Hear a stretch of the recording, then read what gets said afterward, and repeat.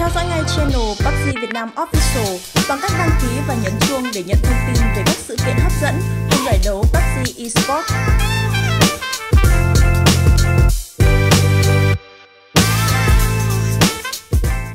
Hãy chờ xem Archangel Predator cũng đang cố gắng áp sát vào cuộc xem dồn rồi với việc chỉ còn lại hai người thì đúng là cũng không còn nhiều những phương án để có thể xử lý dành cho Angel Predator nữa. Nhưng từ từ Godway vừa knock out được inside và trông có vẻ như mở đông sẽ đẩy lên thôi. Họ không có quá nhiều thứ để mất ở trong trận thi đấu mở màn này nữa.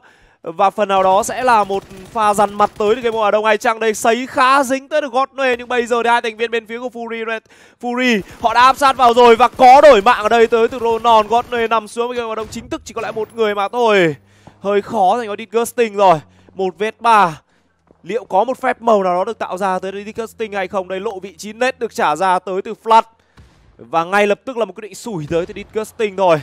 Tam thất vừa đổi cho mình một mạng của God A rồi, nhưng đáng tiếc thay đó lại là một thành viên bên phía của BN United. Jangbi cũng nằm xuống rồi, đó là mạng dành cho Magic Vâng, rất nhiều rất nhiều những cái tên đang dụng sa bầu cũng có thì bị cái mạng của god ấy monty ở đây bắt thì được vị trí của puchil.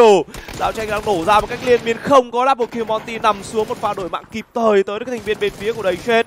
Và tới Vanotica cũng lên tiếng rồi. Ba kill dành cho magic esports trong khi đó đội tuyển dừng lại vị trí tốt thứ 15 đó là team bleed anh ta đã kịp trổ tài, nhưng bây giờ thì một mình đơn thiên độc mã thì vượt qua thế nào đây và đây là bom đến từ dưới expandable một tính xuống sấy hơi chớ, thôi, nhiều đó là đủ rồi, top 14 dành cho đây, chết Trông có vẻ như là Tino một đang tỏ ra cực kỳ thèm khát những điểm số hạ gục ở đây và thôi xong rồi Simon T nằm xuống.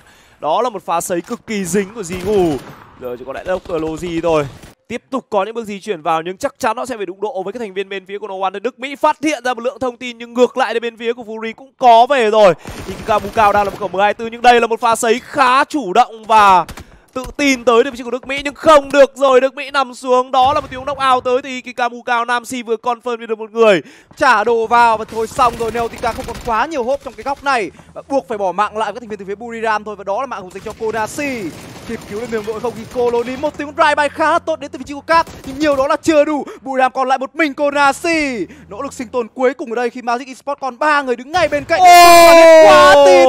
Và Buriram United Esports dừng lại vị trí top thứ 12 Eagle Esports chính xác hơn là Eagle 365 vừa mất đi thêm cả vị trí của Chimirit rồi. Ikamu cao với 10 từ tiếp tục có một tiếng headshot với Mad Dog của Archangel Predator rất nhiều team đang động chạm vào cục viền bo vừa rồi thì dưới Spedable đã phải dừng lại vị top thứ 11 khi mà có quá nhiều sát thương gây ra ở phía xung quanh, bị kẹp giữa cả hai team. Nhưng vừa rồi Sa Pao bắt được thành viên từ phía Magic Esports Leon tiếp tục đồ được trả sang cả hai bên rất nhiều đồ. Liên tục dã sang những XS phải cẩn trọng khi anh ta bị kẹp.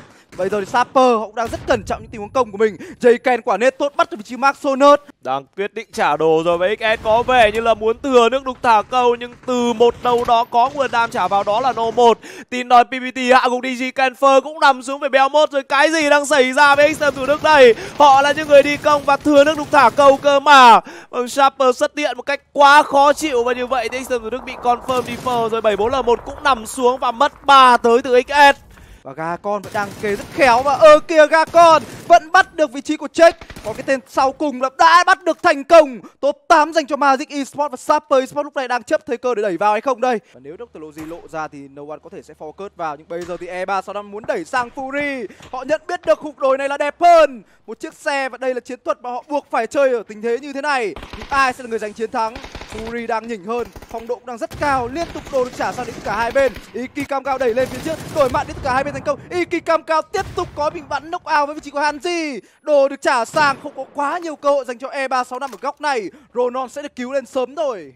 Và đó là quyết định tự hủy tới được gà con rồi Top 6 dành cho XS ở trận thi đấu mở màn ở phía ngoài vòng bo thì sao đây? Sapao vừa nhận một câu đáp trả tới từ Plat Mèo cũng nằm xuống với chính sách rồi. Và nó một đang tàn vỡ Cái tên cuối cùng còn lại là Jigu đang cố gắng làm một điều gì đó. Nhưng rõ ràng Blue Zone không cho phép No 1 làm được quá nhiều điều đẩy vào tới được bàn đàn này. Và No 1 cũng phải dừng lại rồi top 5 dành cho BN và top 4 dành cho ai đây? Như vậy thì Jigu vẫn đang sống được. Và đó là một cái top 3 dành cho No 1 Fury có quá nhiều cơ sở để ăn được cái top 1 này từ từ đã nha, tôi nghĩ là chưa chắc đến mức đấy đâu. Nét bắt đầu được trả vào tới thì camu cao. Và quả nét này nếu như nó vào được, bèo mốt thì sẽ là một tả một dành cho Sapper nhưng cực kỳ may mắn, một hp còn lại lửa được trả vào và bèo mốt có chín hay không đây quả lửa không cháy tới với của bèo mốt một cách vô cùng vô lý.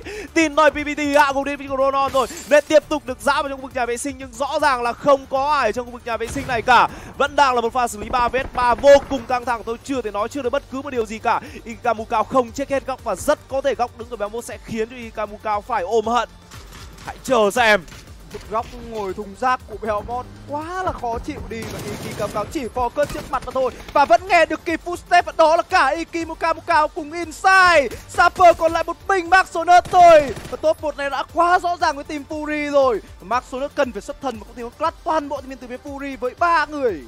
Vẫn đang cố gắng, tên là Max Sonus và hãy chờ xem anh chàng này sẽ đem về được điều gì dành cho Sapper đây. Bắt đầu là những tiếng nhá, và solo em flash được trả ra lần vào trong làn smoke này nhưng trừ 30 nửa bình còn lại tới được Maxonus và tiếp tục là một pha áp sát để trả nết tới từ Flash. Nào, chưa có nhiều những quả nết chính xác, nó hơi thừa lực tới từ vị trí của Flash nhưng có lẽ là cũng không sao đâu. Rất cố gắng trả đồ vào và lần này có thể sẽ gây đam đây với quả nết này của Flash vẫn chưa ra. Maxonus rất cố gắng để xem anh ta sẽ còn sinh tồn được bao lâu đến khi người kê đầu cũng đã là vị trí của Vlad rồi. Không còn quá nhiều hộp nữa và oh. rồi. Cái top một này vẫn sẽ gọi tên Fury với 10 kill